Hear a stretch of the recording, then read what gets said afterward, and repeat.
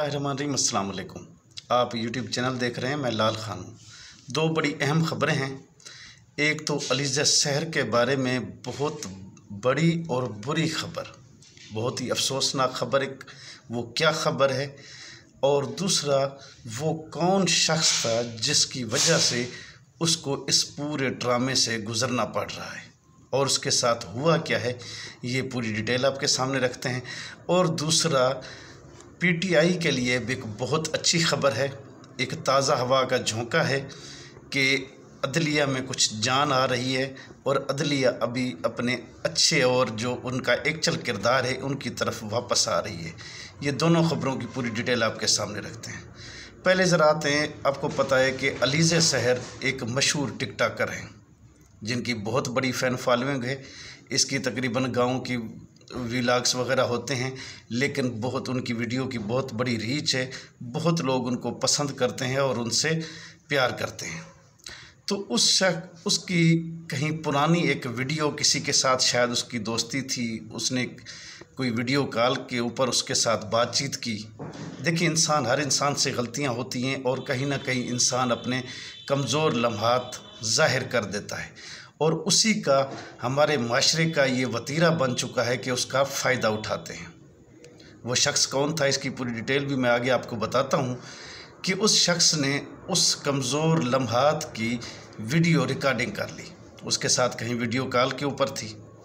अभी तक तो ये भी सही साबित नहीं हो सका कि वो असली थी कि नकली थी, क्योंकि आजकल आप जो इस जदीद दौर के अंदर किसी के साथ कुछ भी कर सकते हैं, किसी की भी वीडियो बना सकते हैं। सबूत आपके सामने है कि कितनी इमरान ख़ान की, पीटीआई के लोगों की ऑडियोज़ और वीडियोज़ सामने आती रही हैं।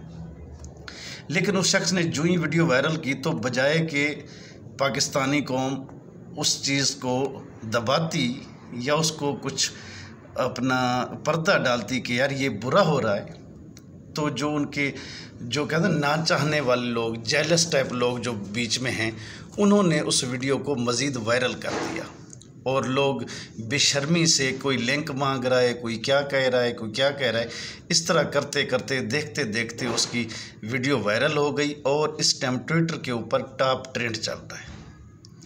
लेकिन जो उससे प्यार करने वाले हैं, उससे चाहने वाले हैं, उसके जो फॉलोअर्स हैं, वो उनके साथ खड़े हो गए। हम खुद उनके साथ हैं, क्योंकि जो बात गलत है, वो गलत है। गलत बात को सही नहीं कहना चाहिए। ये किसी के साथ भी हो सकता है। इंसान गलती का पुतला है।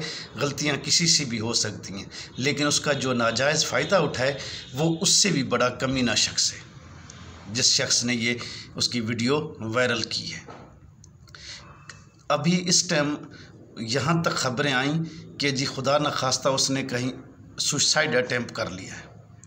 लेकिन मैंने अपने ज़राए से, कुछ दोस्तों से पता किया, ये ख़बर भी झूठी है, कोई उन्होंने सुसाइड वगैरह नहीं किया, इस तरह की। लेकिन वो इस ड्रामे से गुज़र रही हैं, जो इस टाइम उसके अपना ऊपर गुज़र रही है, वो वही जान सकती है क्योंकि हर इंसान अपना दर्द ख़ुद ही वही जानता है, दूसरे सिर्फ़ अंदाज़े ही लगा सकते हैं, लेकिन वो उस दर्द की कैफियत को महसूस नहीं कर सकते।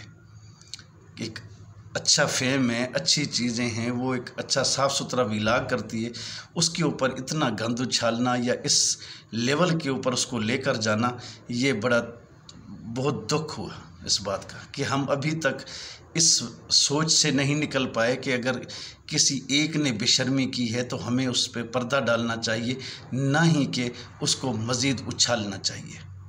दूसरी तरफ़, पीटीआई पीटीआई ने आपको पता है कि बाकी सारी पार्टियाँ जलसे कर सकती हैं, पीटीआई ना वर्कर कन्वेंशन कर सकती है, ना ही कोई जलसा कर सकती है। पिछले दिनों पेशावर के अंदर एक वर्कर कन्वेंशन हुआ।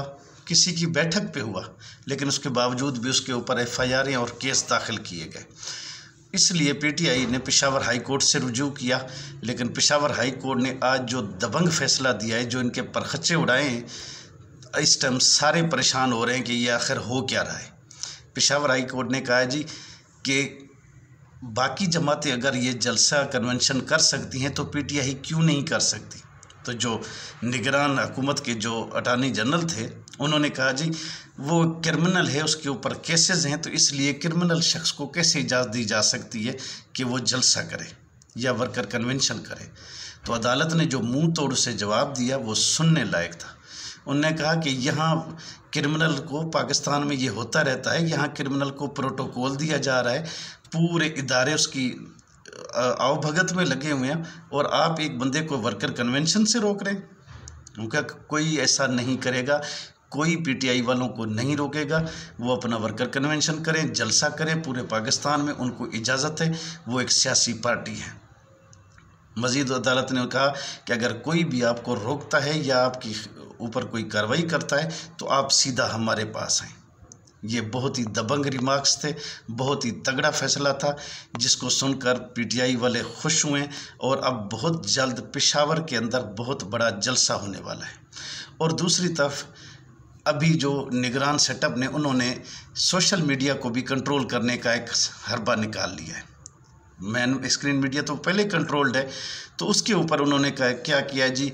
पीटीआई ने अपने दौर के अंदर एक टीम बनाई हुई थी, उसको हायर किया हुआ था, वो गलत बयानियाँ और सिर्फ़ पीटीआई को प्रमोट करते थे तो ये इतने इतने फंड्स लिए गए इतनी इतनी उनको तनख्वाहें दी जाती थी।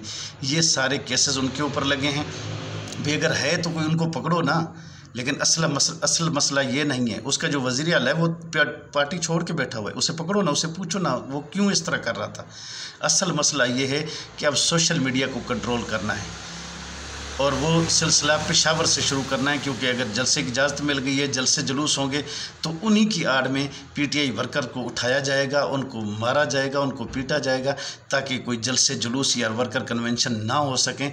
असल मकसद ये है, बहाना सोशल मीडिया है और अब सोशल मीडिया के ऊपर भी ये इसी बहाने से क्रैकडाउन करेंगे क्योंकि पीटीआई की सबसे ज़्यादा फ़ैन फॉलोइंग है और बहुत ज़्यादा आवाम जो है वाद ये सोशल मीडिया है जिसके ऊपर आके वो डिफेंड करते हैं पीटीआई को, इमरान खान को। लेकिन अब इन्होंने ये भी बहाना ढूंढ लिया है और इसके थ्रू सारा कंट्रोल किया जाएगा ताकि सोशल मीडिया के ऊपर भी कोई कंपेन ना चल सके। ये अपनी आखिरी हद को छूने जा रहे हैं और अब लगता है कि इनकलाब का वक्त करीब है। अगर यही सिलसिला रहा तो पाकिस्तान में अनकलीब, अनकरीब इनकलाब आ जाएगा। आप देखेंगे। अब तक के लिए इतना ही। अपना बहुत सारा ख्याल कीजिएगा। अपने चैनल का भी। चैनल को लाइक कर दें, सब्सक्राइब कर दें और कमेंट सेक्शन में अपनी राय से आगाह ज़रूर करें। अस्सलाम वालेकुम